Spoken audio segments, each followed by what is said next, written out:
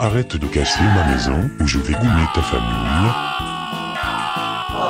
famille.